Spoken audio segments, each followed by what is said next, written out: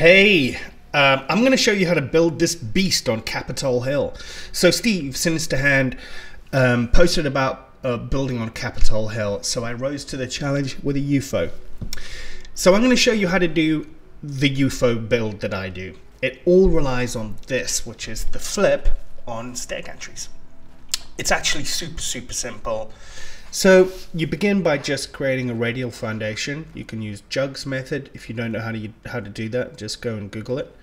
Um, or you can just use blueprints if you've already built your uh, your radial foundations. Now you want to get rid of the inside bits so that you have all of the outside foundations. Notice you'll have 12 foundations here. And now you're going to arrange the stair gantries um, all facing inwards like this so that they're all oriented the same um, stairs all facing in the same direction.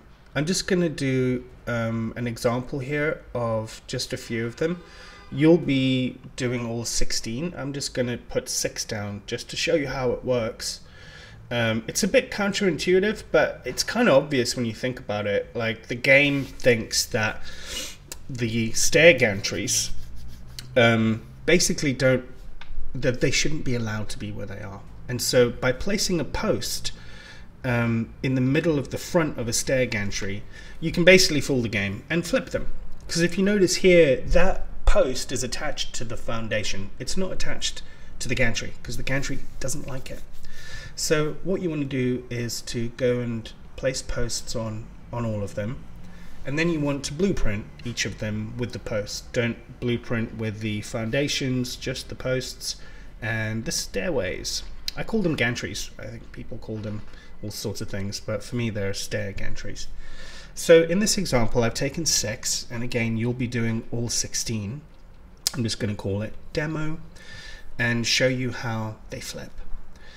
Um, I'm going to show you here an example of it, it failing a little bit so that you can see that it, that, that can happen, but um, I, I included it so you, you're aware it can happen, but there's no real issue with it. You can just go and rearrange the gantries on the foundations you've laid and do it again. Sometimes it happens, most of the time it doesn't. So anyway, here we are at Capitol Hill. So what Steve wanted to do was to build using the foundation method like down below, but of course this is a UFO build. So I'm placing my camp unit right on the tippity top and the reason is because that's going to give me five full floors above that tip to work with. Because obviously if you're doing a UFO you want to have a lot of upward um, space. Um, the downwards are really helpful especially for the build that I did here which has um, got lots of hanging walls. Now these posts that I'm placing here these are so that I've got a guide when I'm placing the radial um, blueprint that that you will have just made. And it's quite you know it's all by eye so you're almost certainly going to get it wrong. If you get it wrong you can delete all of the posts and then delete all the gantries or simply replace the camp. Uh, it's effortful. It's a bit painstaking but uh, like this placement it's kind of in the middle. I'm happy with that. It's fine.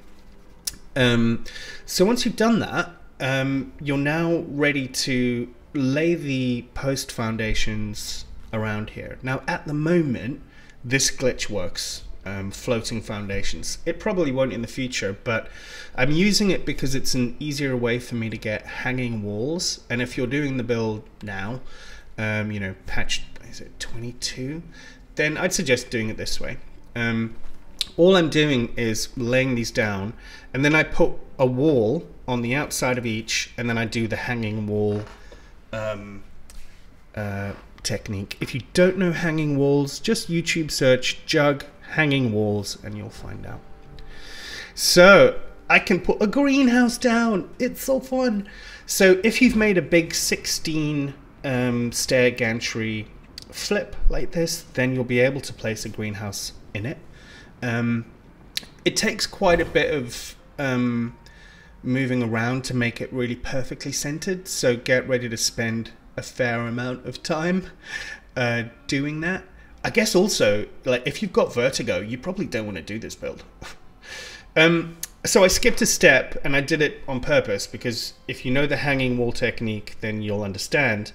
But this is the result of the hanging wall, right? I've got 16 arrangements of four doorways, all with roofs, so that I can hang little half walls, which are pretty, and that's the only reason that they're there. They, they're kind of like um, the dude would say, you know, they really pull the room together. That they're just for decoration. Uh, there's no need to do it. Um, and whilst you're doing it, um, you're suspended, you know, many hundreds of feet above the air, and it's you're gonna die. You're gonna die lots.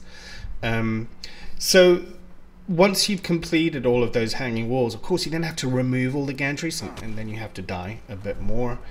Um, and you're going to keep removing those roofs and those doorways until all you have left are the hanging walls that you actually want.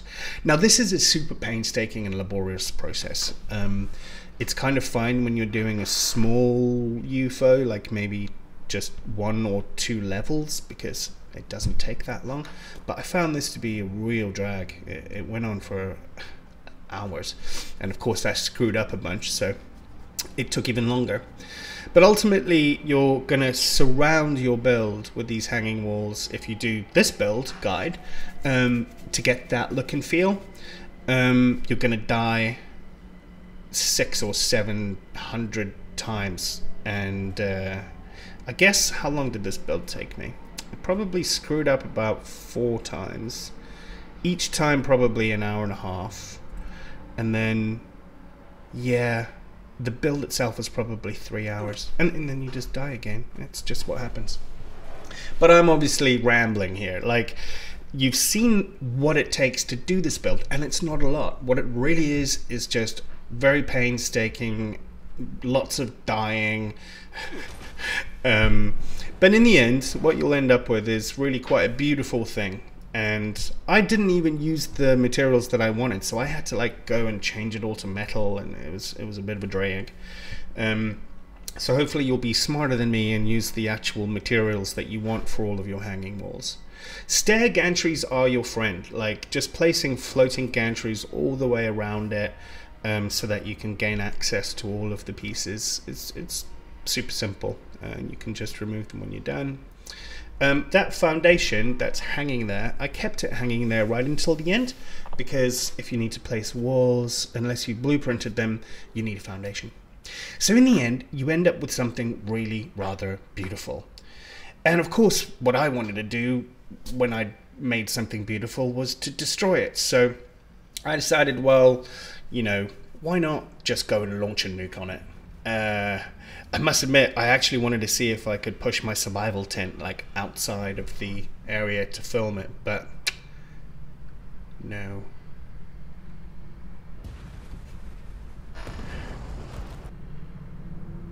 Ah, oh, beauty. What a beauty.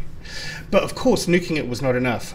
My friend Johnny had the brilliant idea of actually bringing in the strike